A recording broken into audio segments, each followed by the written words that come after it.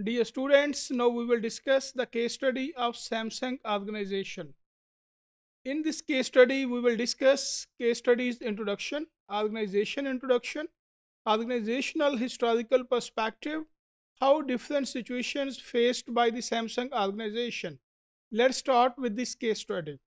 Samsung basically the largest producer of electronic devices. Producer dear students आपको पता है कि प्रोड्यूसर वो इंडिविजुअल है या ग्रुप ऑफ़ पीपल है या ऑर्गेनाइजेशन है जो कि किसी चीज़ को प्रोड्यूस करता है, उसे हम प्रोड्यूसर कहते हैं। यानी कि प्रोड्यूस करने वाला। सैमसंग या ऑर्गेनाइजेशन नेम है।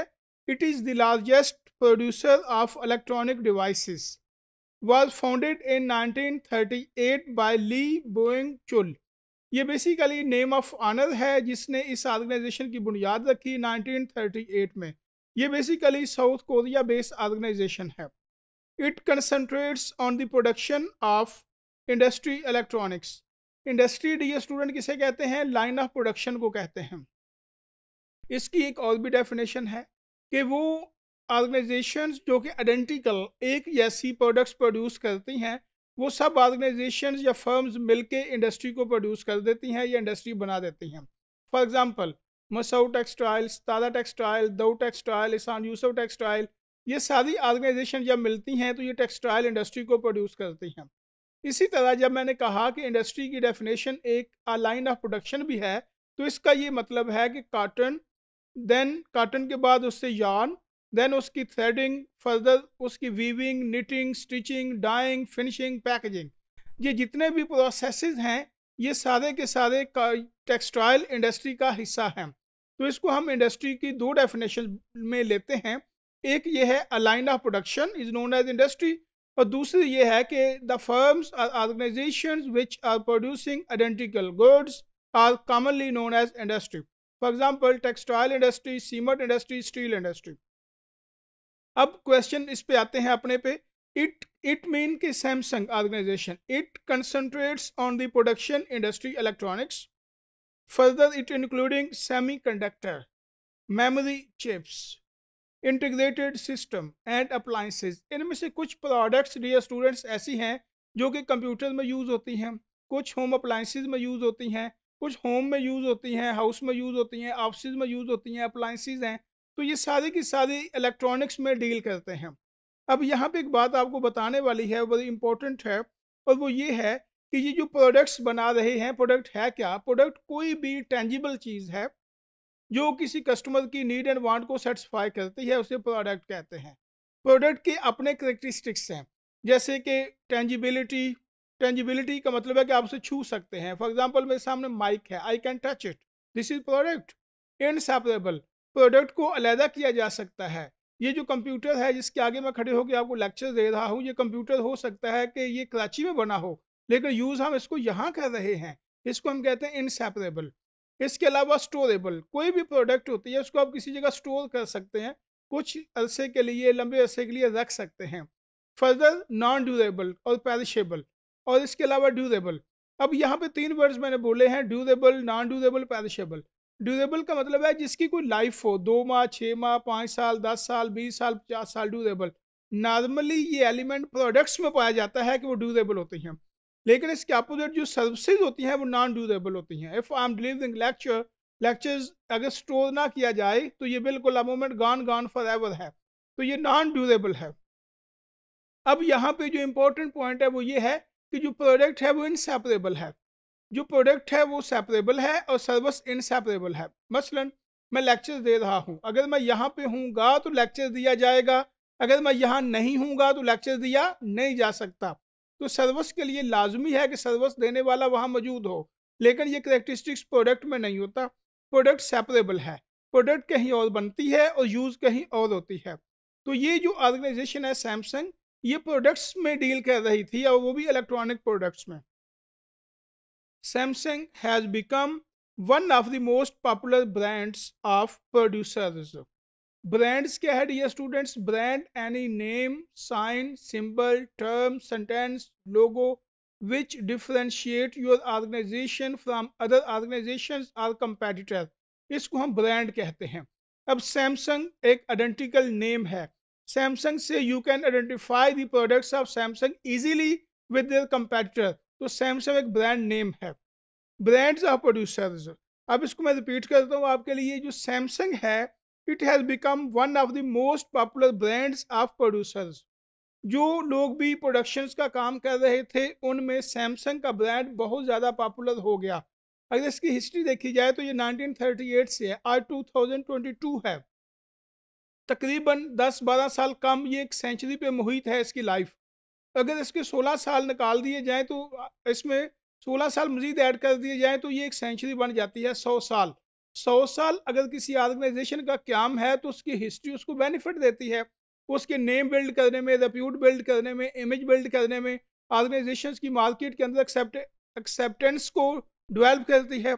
तो यहाँ पे हम देखते हैं कि इसका साउथ कोरिया की एक्सपोर्ट में कितने परसेंट हिस्सा शामिल है।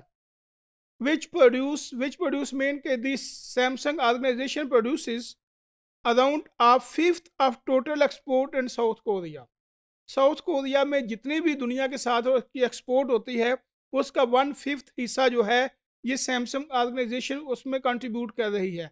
मैं एक एग्जांपल दे देता हूँ। फ़र्ज़ करें कि एक साउथ कोरिया की ऑर्गेनाइजेशन जो है, ये वन हंड्रेड रुपीज़ इनकी एक्सपोर्ट है, उसका वन फिफ्थ यानी कि ट्वेंटी रुपीज़ उसमें से जो हैं, वो इस चीज़ ऑर्गेनाइजेशन सैमसंग की तरफ़ से शामिल है। तो वन फिफ्थ का यहाँ ये मतलब है डियर स्टूडेंट्स कि किसी मुल्क की इकानमी का अगर यहाँ पे इकानमी की तो बात हम नहीं कर रहे एक्सपोर्ट की बात कर रहे हैं तो एक्सपोर्ट का वन फिफ्थ हिस्सा सिर्फ़ सैमसंग ऑर्गेनाइजेशन उसमें डाल रही है By the end of 2015 and 21, Samsung employees suffered from cancer and a rare condition after the company's work.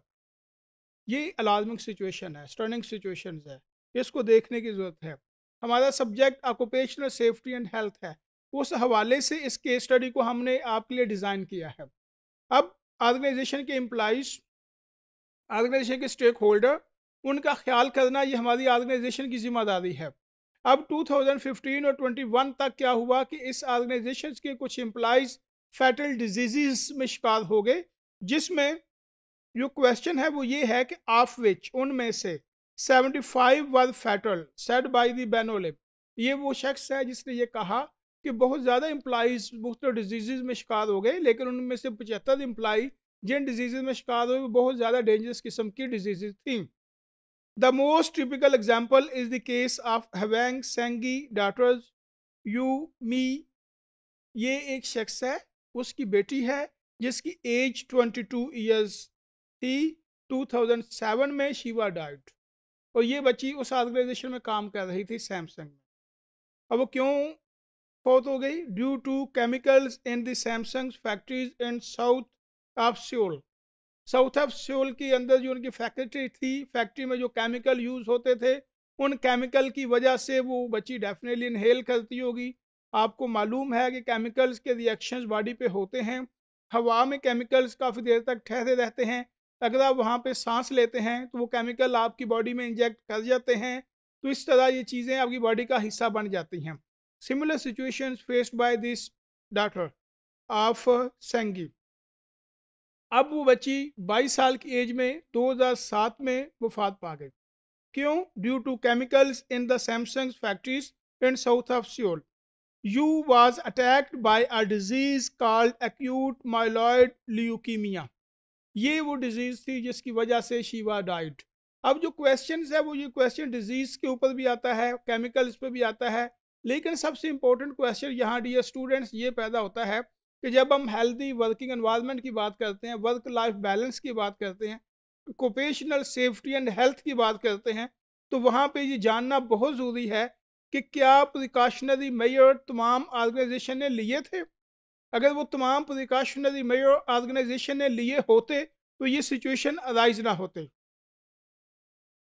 Yumi's father Sanggi became one of the founders of Banolim He spent seven years to shed light on the use of carcinogens in electronic equipment factory, especially semiconductor equipment factory. अब ये जो conductor बनते थे जिसमें electronics wire या electricity गुजरती थी या सेमीकंडक्टर थे अब उस ऑर्गेनाइजेशन में उस बंदे ने काम किया और उनमें अवेयरनेस क्रिएट की कि किस तरह इन केमिकल से आप लोग बच सकते हैं। अब जो क्वेश्चन पैदा होता है वो ये है कि ये जो बच्ची फौत हुई कैंसर की वजह से उसकी काजेज क्या थी? अब उससे अगला एक हल कि उसका सोल्यूशन क्या है? काजिज इसमें इंटरनल फैक्टर कैरोसिनोजन जिसकी वजह, ये केमिकल था जिसकी वजह से वो इनहेल कर रही थी, उसकी बॉडी पर रिएक्शन हो रहा था शीवा died external factor working environment outside the organization factor क्या ऑर्गेनाइजेशन ने environment within the organisation ऐसा सूटेबल रखा था कि वो जो बच्ची थी उसको वो तमाम हेल्थ फैसिलिटीज़ मिल जाती या उसका मेडिकल चेकअप होता? तो स्टार्ट के अर्ली एजेस में ही वो डिटेक्ट हो जाता। ऑर्गेनाइजेशन ने डेफिनेटली ऐसा नहीं किया। अगर ऐसा किया होता तो ये प्रॉब्लम आगे बहुत ज़्यादा ग्रो नहीं होनी थी। Third point potential factors the temptation of money अब यहाँ पे जो क्वेश्चन है, वो ये है कि इन लोगों ने जानते हुए भी इस चीज़ को इग्नोर किया है। अगर कोई एम्प्लाई किसी इस किस्म की एक्टिविटीज़ में इन्वॉल्व है, जहाँ पे केमिकल रिएक्शन हो सकता है, या उसकी हेल्थ के ऊपर उन चीज़ों का बैड इफ़ेक्ट हो सकता है तो वहाँ पे ऑर्गेनाइजेशन को पैसा नहीं बनाना चाहिए, बल्कि इस किस्म के डिसीज़न लेने चाहिए, जिसकी वजह से उस एम्प्लॉय की हेल्थ को, जान को जो ख़तरा है, उससे अवॉइड किया जा सके। अब यहाँ पे इसका सोल्यूशन डियर स्टूडेंट्स मैं यूँ दे रहा हूँ आपको कि हर एक ऑर्गेनाइजेशन के अंदर स्टैंडर्ड ऑपरेटिंग प्रोसीजर्स होते हैं और उन स्टैंडर्ड ऑपरेटिंग प्रोसीजर को स्ट्रिक्टली फॉलो करना चाहिए। अगर ये सैमसंग ऑर्गेनाइजेशन उन स्टैंडर्ड ऑपरेटिंग प्रोसीजर्स को, आईएसओ सर्टिफिकेशंस को, occupational safety and health organization की एक्सरसाइजेज को, हेल्दी वर्किंग एनवायरनमेंट ऑर्गेनाइजेशन देती तो ये सिचुएशन वहाँ पैदा नहीं हो सकते थी।